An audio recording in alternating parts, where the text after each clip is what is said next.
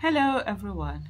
Uh, so right now, I want to talk about uh, Kashim Shettima, the running mate to to Tinubu, and the fact that you know he recently called Nigerians clowns uh, on Twitter.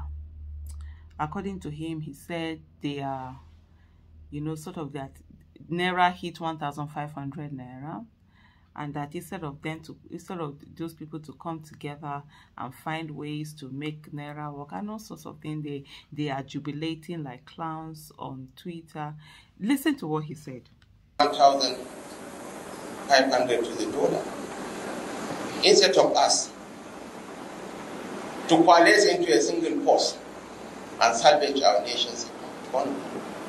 Sadly sadly some clowns are celebrating on Twitter.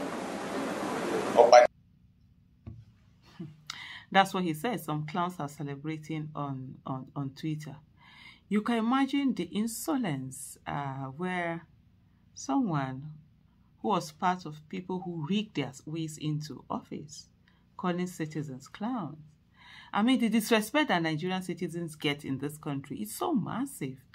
To the extent sometimes you just wonder, what is going on? But again, they have a lot of citizens who think, who think they are slaves, and so they allow themselves to be disrespected to this extent.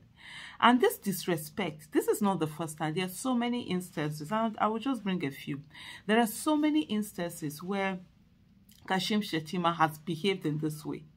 It's almost like when you see him, he's a person with such inferiority complex that he feels that he needs to bring people down. He needs to castigate people. He needs to talk down on people. He needs to call people names for him to be able to feel a certain sense of importance.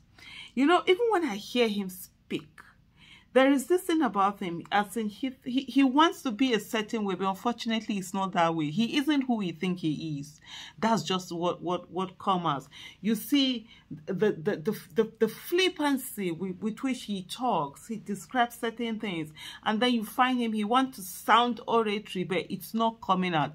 Because at the end of the day honestly if you ain't got it you ain't got it there's something about that flair of speaking. I mean, there are people that when you listen to them, they move crowd. Like when they're speaking, people, you know, sometimes if it's not there, it's not there. No matter how much you fake, you try to force it, and no matter how much you try to uh, demean other people for you to feel uh, important. And, and it's always one of the things or many of the things that Kashim Shettima has all has always has always done in trying to talk down on people in trying to you know denigrate people in trying to demean people and I'm going I'm going to also play you another of those uh, ways that he, he, he, has spoken down uh, or, or, or on people. And, and just take a listen. Yesterday, I hosted my classmates from the University of Ibadan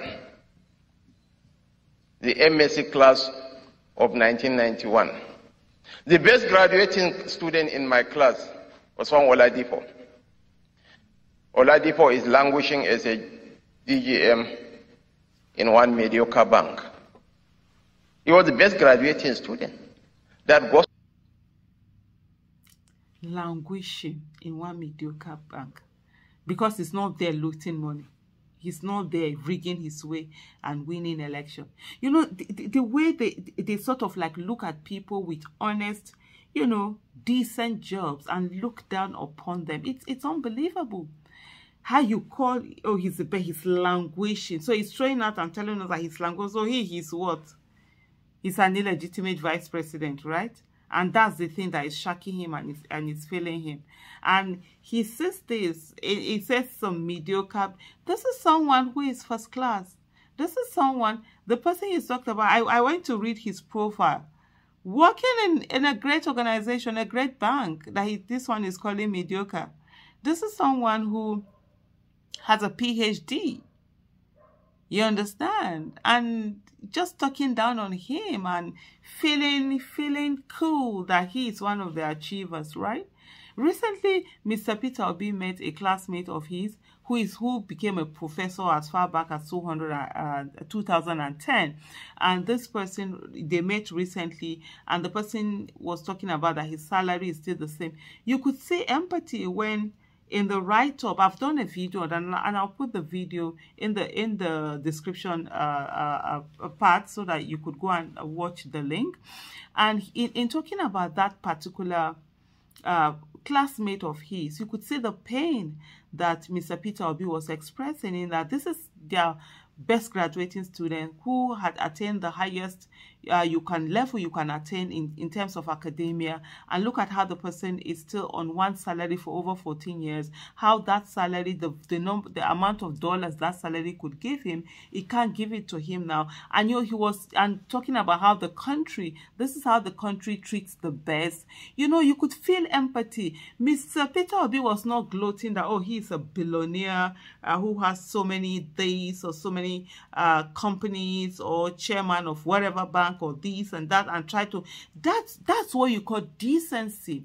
That's a decent human being. Not the one that comes to denigrate his his classmate you know understand the best graduate graduating student just to show that oh he that wasn't the best graduate graduating student see where he is now. Who does that? You know this is someone who even the position that they have rigged their way to be able to get, he's not been able to, to, to, to own it. He's not been able to find satisfaction in it. He's not been able to be at peace with it. And so he feels he has to bring people down for him to be able to feel some sort of way. It's, it's, it's, it's just, there's something just uh, off about that kind of a behavior from someone that no matter how much the person had gone on uh, to, to, to, to think he has achieved certain things, he's still he's, he's still not in him. He's still not satisfied because there's that inferiority complex where he knows he, he isn't really what it is that he says he is.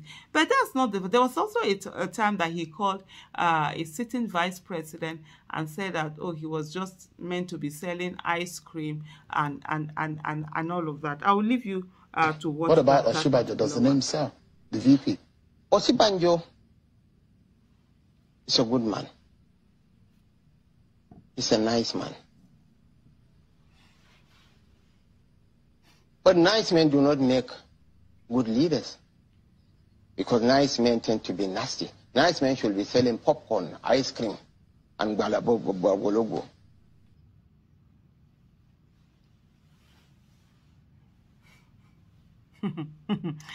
ah, I laugh in a circle. I don't blame them, really. It's because of the kind of country that we have. These are people that really should be behind bars, uh, not trying to masquerade as leading in, in a nation. Uh, so they will say that's why he has room to be saying all sorts of nonsense that he's saying to the of sitting down and actually calling citizens clowns.